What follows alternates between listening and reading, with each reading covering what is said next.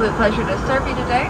We apologize again to those who we were not able to reach during the service.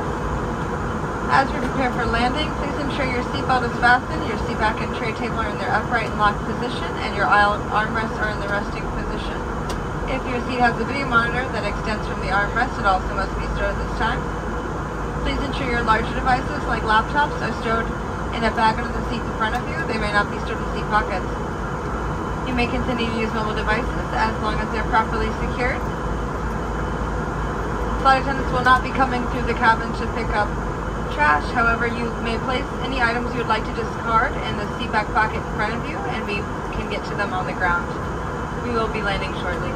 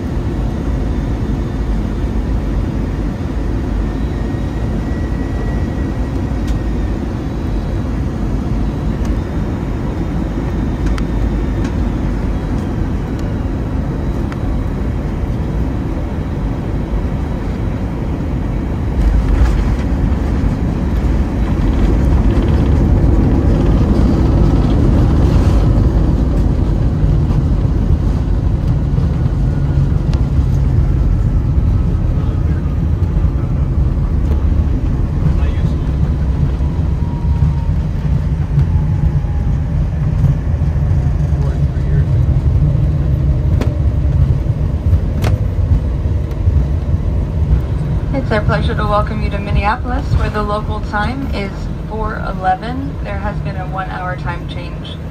Please stay seated with your seatbelt fastened and carry-on items stowed until the aircraft is parked at the gate and the captain has turned off the seatbelt sign. Be careful when opening overhead bins to avoid injury from items that may have shifted during flight.